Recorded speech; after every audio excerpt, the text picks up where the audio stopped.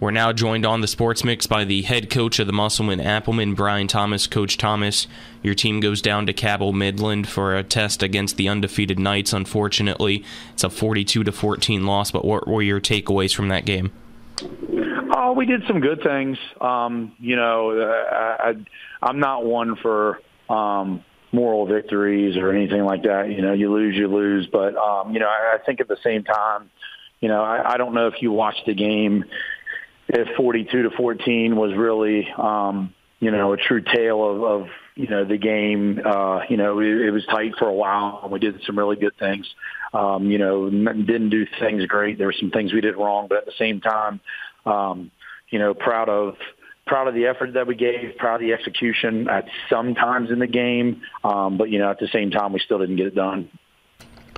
Coach, it seemed like you guys were able to score early in the game. Like you said, it was pretty close early, and then uh, get another score late. Um, I guess how do you I guess build on what you were able to do in this game offensively uh, with the good start and a good finish can hopefully uh, I guess try to carry some momentum the rest of the year.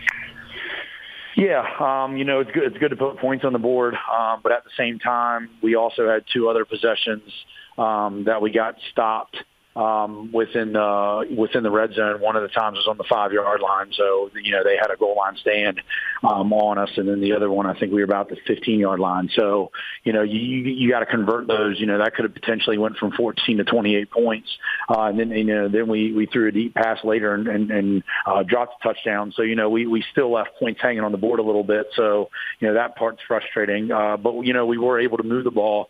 Uh, you know we were able to do some really good things both in the pass game and the run game. So, you know, looking to looking to build off that, looking to continue to get better. Uh, you know, I, t- I told the kids after Friday night, you know, even though the season is flying by, they all do, and even though you know before we know it, we're going to blink and the season's going to be over, we still got a month left. We still got four games left. So, you know, when you look at it like that, that's still that's still a lot of time, um, you know, with, with, you know, a little under half of your season left. So, you know, we, we still got work to do and some things we got to get done. Coach Tommy, it's your team now, unfortunately, on a four game losing streak, and it might be tough because of the situation that you guys are in to find the positives out of it all. But what are some of the positives that you've seen in this four game stretch from your team? Yeah, you know, the two things. Um, that's a good question. There's two things.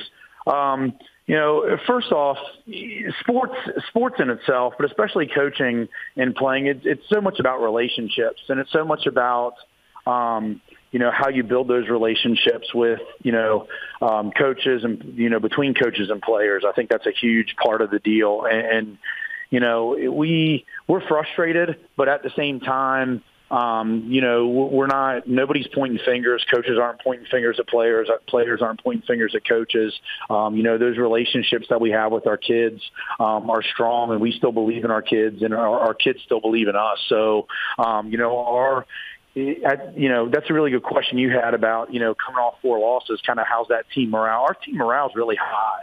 Um, and, you know, we're really positive about where we're at, you know, and, and, and to kind of the second part that I have to go along with that, like I said, I'm not about moral victories or anything like that, but you know, you look at you look at the four games we lost, and I don't know what the SSAC rankings are, but we lost to Morgantown, Spring Mills, Martinsburg, and Cabell Midland. Well, let's let's go combine those records. Um, and like I said, I'm not about moral victories, and and I'm not about saying, oh, we played really tough. But at the same time, we lost to four really good football teams. That there's a lot of teams in the state. If you gave them those four games back to back, um, you know, it, it, it's going to be tough to win those games. So we expect to win them, but at the same time, um, you know, it, it, it was a very difficult stretch, and now, you know, we got to stay together and build on that a little bit um, coming in here to, to these last four weeks.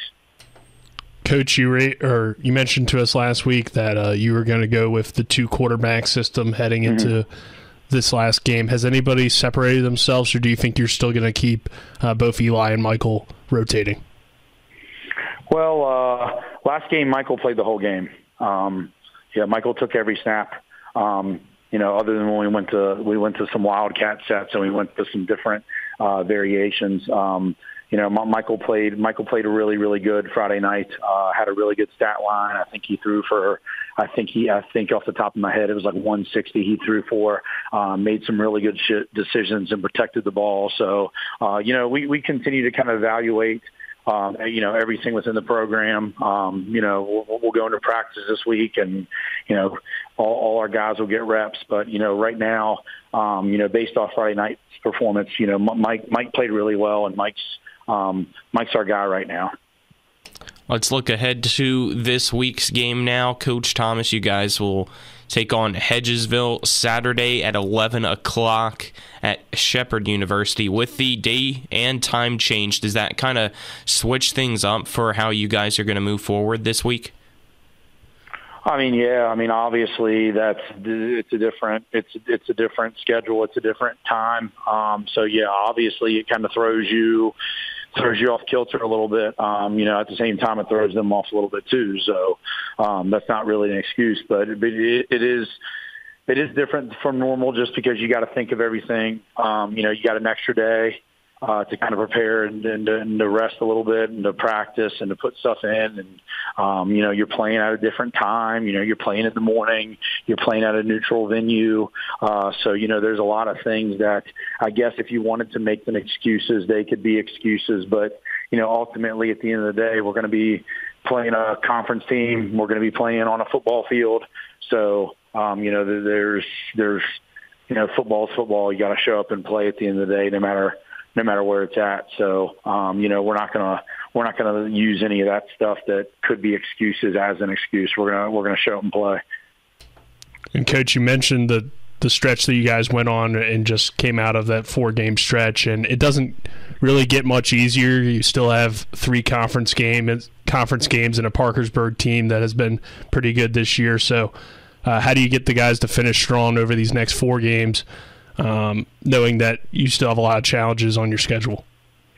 Yeah, I mean the remaining the I mean our remaining schedule is tough. I mean we got three straight conference games coming up, um, and our conference is as good as anybody um, in the state. And then after that, you got a Parkersburg team that um, you know they they've beaten some really good teams this year, uh, and they're a good program. So you know our our next four games are you know they're all tough. Um, but you know like I said earlier, we've uh, you know we we we just faced we just faced uh, first team All State quarterback and a running back that's uh, got a full ride commitment to WVU. So you know we we've played some some pretty good comp- stinking competition uh, here recently. So you know our kids are our kids are going to be ready. Uh, we'll, you know we're going to practice hard this week. We're going to prep them.